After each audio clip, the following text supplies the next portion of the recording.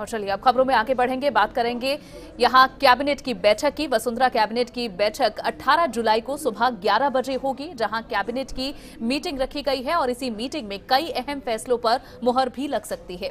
इससे पहले राज्य कैबिनेट ने सर्कुलेशन के ज़रिए तीन फैसले किए हैं। इसके तहत निजी क्षेत्र में एपेक्स विश्वविद्यालय की स्थापना होगी और साथ ही इसके लिए मानसून सत्र में विधानसभा में अध्यादेश रखा जाएगा, जो कि पारित होने पर विश्वविद्यालय बनेगा।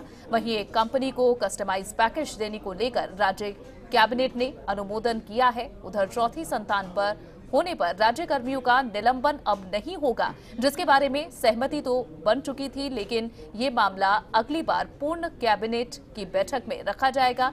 वहीं सर्कुलेशन के ज़रिए ये निर्णय नहीं होगा वहीं पर्यटन इकाई या फिर होटल के पास आवेदक को रियायती दर पर भूमि मिल सकेगी। इसके संबंधित नियम में अब एलएसजी और यूडीएच साथ ही राजस्व विभाग संशोधन कर सकेगा। वहीं 12 तहसील और उप तहसीलों के लिए भी आदेश जारी किए गए हैं। और ज़्यादा जानकारी के लिए सीधा रुख करेंगे न्यूज़ रूम का, जहाँ हमारे संवाददाता ऋतुराज इस वक्त मौजूद हैं। ऋतुराज, किस तरह के यहाँ प्रस्ताव रखे जा सकते हैं? कितने प्रस्तावों के पारित होने की उम्मीद है?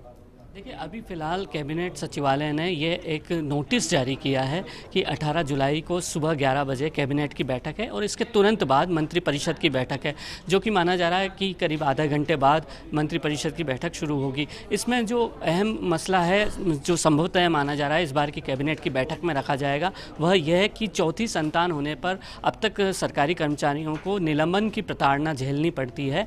वह प्रताड़ना वापस लेने को लेकर विचार हो सकता है इस बारे में वित्त विभाग और कार्मिक विभाग ने अपनी कवायद की है एक्सरसाइज की है लेकिन इसका कैबिनेट से अनुमोदन के बाद अंतिम तौर पर निर्णय होगा और उसके बाद आदेश जारी होगा। आज जो सर्कुलेशन से अहम अनुमोदन हुए हैं, उनमें ख़ास है कि पर्यटन इकाइयों या होटल के आसपास जो भूमि है, उसको अगर लेना चाहे कोई बड़ा होटल उद्यमी तो वह ले सकता है। बशर्ते जो U D L S G और जो अन्य विभाग है इन तीन विभागों की सहमति हो और उस पर भू रूपांतरण के जो नियम हैं वो लागू नहीं हो और भू रूपांतरण परिवर्तन की उनको इजाज़त दी जा सके। तो ऐसी एक कमेटी उसका निर्धारण करेगी तो काफ़ी शिथिलन की गई है इस मामले में और इसके लिए तरह तरह चर्चाओं का दौर भी शुरू हो चुका है। ऋतुराज जिस तरीके से चौथी संतान होने पर राज्य कर्मियों का निलंबन पहले हो जाता था 2002 का ये कानून है और अब इसमें बदलाव किया जा रहा है। इसकी ज़रूरत महसूस की गई?